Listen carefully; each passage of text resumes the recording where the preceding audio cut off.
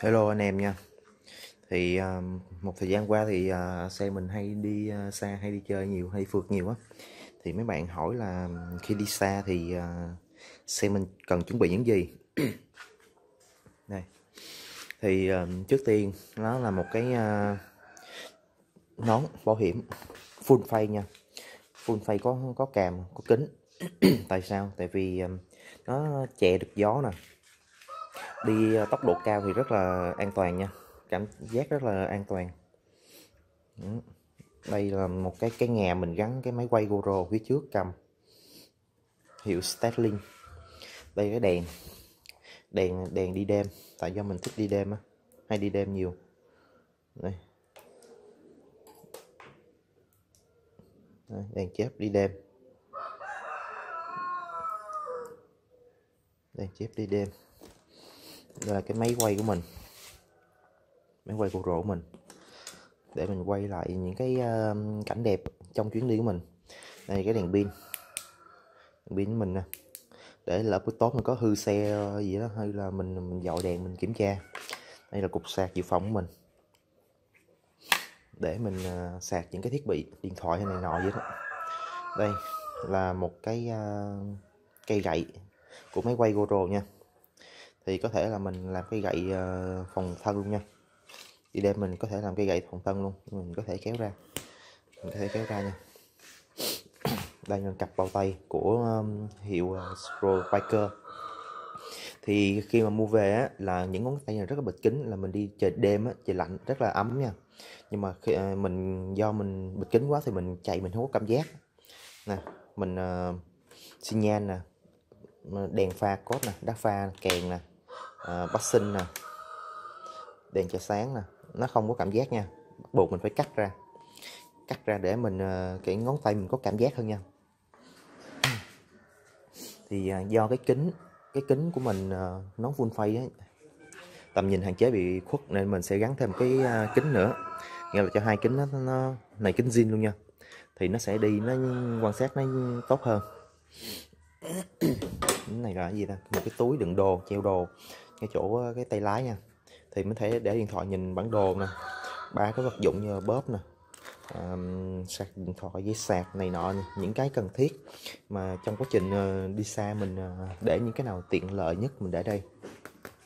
Đây là một cái giá cái giá đỡ điện thoại nha. Đây là cái giá đỡ điện thoại nè để mình nhìn bản đồ nè. Hai cái đỡ tay lái nha đỡ tay ga. Đây hai cái đỡ tay ga thì uh, mấy này mình mua trên mạng trên ờ, shop phượt á. Này nọ thì uh, những cái shop phượt á bán đồ phượt á mình đi do đường dài thì mình cần phải cái đỡ tay ga đỡ mỗi tay nha. À, những gì nữa ta? À, cái khẩu trang. Khẩu trang. Nếu không có khẩu trang thì đi trời đêm rất là lạnh nha.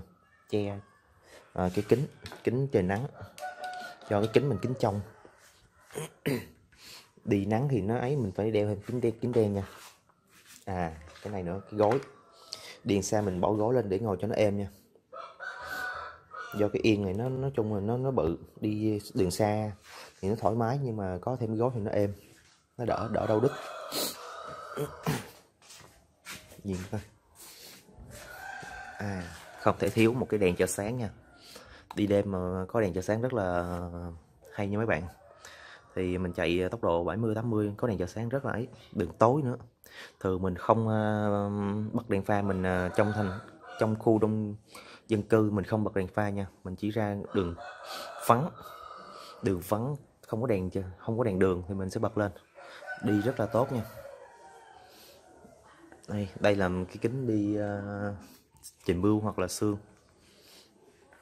Rồi. Kiểm tra lốp xe này tra lốp xe nè kiểm, kiểm tra lốp xe nè đấy. À rồi nữa. Bơm. Cái bơm xe. Để mình ờ, lỡ bánh xe bị hư bị lủng thì mình có thể bơm mình chạy tiếp nha. Hôm bữa mình đi ờ, từ Ninh Thuận tới khúc Ninh Thuận thì nó bị bể xe cán một cái đinh bể xe. Bắt buộc mình phải bơm lên tại do này là không ruột mình bơm lên mình chạy về tới Nha Trang mình mới ờ, phá nha. Đây kèm. Những cái dụng cụ ờ, kèm tôi vít vậy đó để bằng để sửa xe linh tinh thôi. À nhớt. Trước khi đi thì mình đã thay nhớt ờ, số nhớt láp rồi nha. À, chạy ra tới đây là 650 cây thì mình đã thay một cái thay xả nhớt ra mình thay lại.